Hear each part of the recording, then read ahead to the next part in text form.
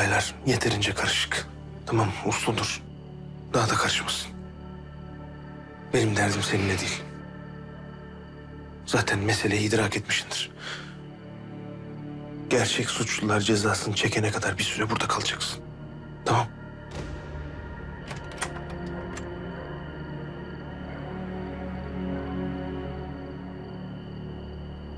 Yiğit. Ben sana birazdan bir battaniye getiririm. Yiğit.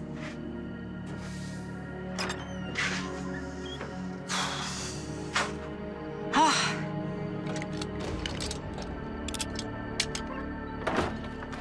Ay ne yapıyorsun sen gecenin bu saatinde orada korktun?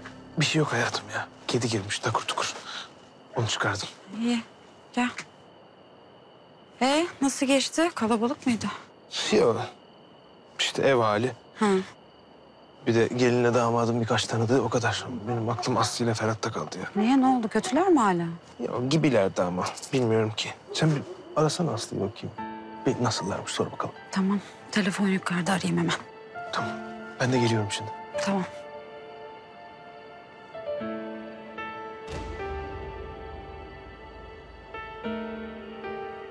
Ayakta mı uyuyorsunuz siz? Aklınız nerede? Bahçede düğün var, adam bıçaklı. Sersemler. Şirketle geldi demek ki Namık Bey. Listede gönderdiler de. Kes. Namık Emirhan'ın evinde gelini bıçaklanıyor, haberiniz yok. Şimdi geçin yerinize.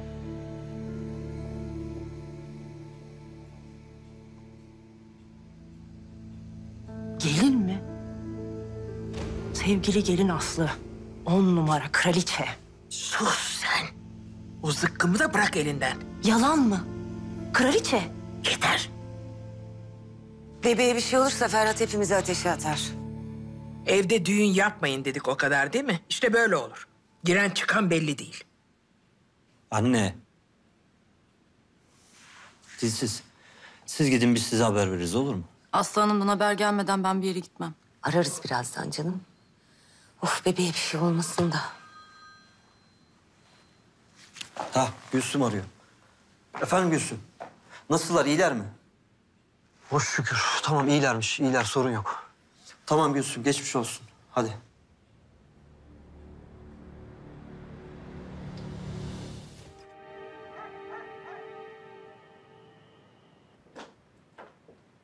Yeter. Aslı ile Ferhat geldiler mi? Geldiler. Aslı da bebek de çok iyi. İyi. Sen konuş sabah onlarla bir yere gitmesinler. Ben konuşurum da beni dinlerler mi bilmem. Sen Aslı ile konuş.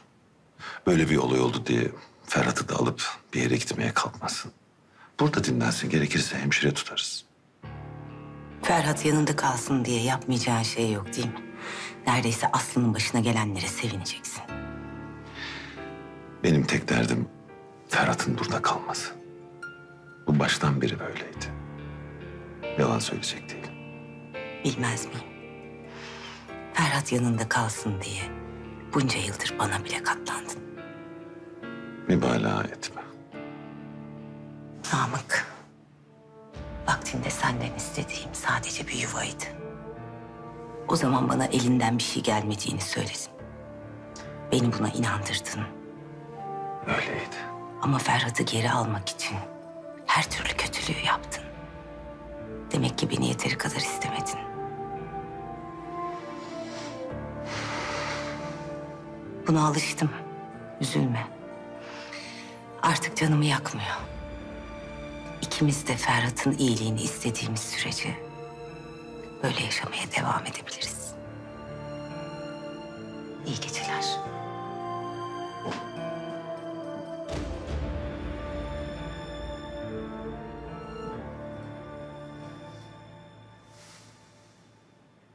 İyi misin?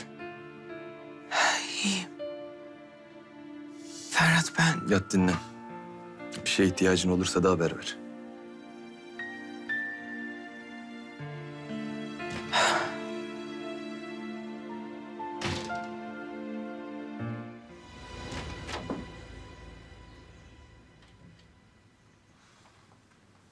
Ben çıkıyorum, iyisin değil mi?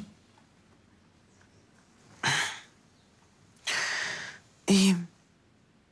Oğlumuz beni bırak bakmadı dediğin gibi. Şanslıymışsın. Bundan sonra ikimizin de daha dikkatli olması gerekiyor Ferhat. Kendi adına karar ver. Anlamadım ne demek bu. Sorumsuzsun diyorum anlamayacak bir şey yok. Tanımadığın eli bıçaklı adama dikleniyorsun gelmişsin. Böyle mi anne olacaksın? Ben kimseye diklenmedim. Adam bana seni sordu, karşıma çıktı. Ben de ne istediğini sordum.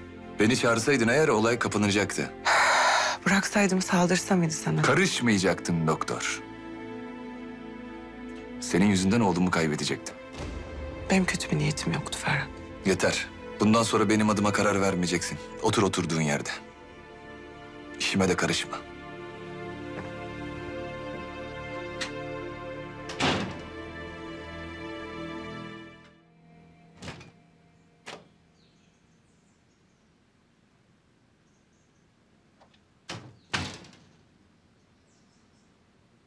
Geçmiş olsun kızım. Teşekkür ederim. Bak beni dinlemedin gittin. Aranız açıldı. Yeter Hanım.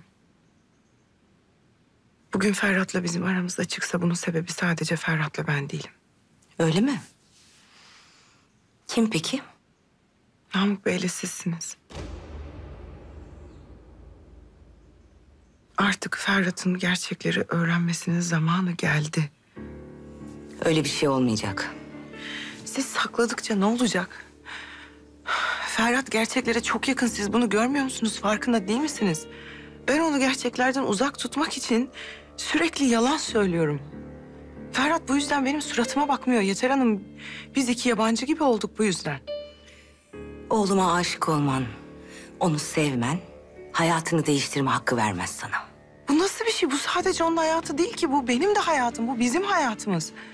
Boğuluyorum anlamıyor musunuz bu kadar yalanın içinde? Tamam ben size hak verdim. Dediniz ki eğer Ferhat Namık Emirhan'ın babası olduğunu öğrenirse içindeki Necdet ölür dediniz. Ben buna hak verdim çünkü haklıydınız gerçekten. Doğrusunu yaptın. Şimdi de bir şey söylemeyeceğiz. Ama artık şartlar değişti.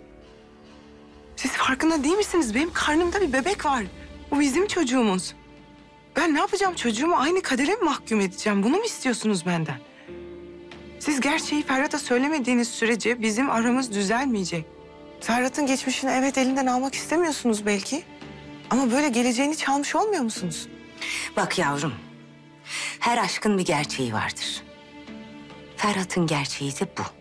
Biliyorum acı veriyor ama bu gerçekle beraber yaşamayı öğrenmek zorundasın. Başka yapabileceğimiz bir şey yok. Bu sırrı kabullen ve unut. Bedeli her ne olursa olsun. Bu sadece sizin düşünceniz. Siz oğlunuzla aranızdaki mesafeye katlanmış olabilirsiniz. Bunu seçmiş olabilirsiniz. Ben buna katlanamam. Ben bunu yapamam. Ben kocamla aramda bir sırra tahammül edemem. Yapmayacağım. Anlatabiliyor muyum? Aslı kızım. Senin sinirlerin çok bozulmuş belli. Yat dinlen biraz.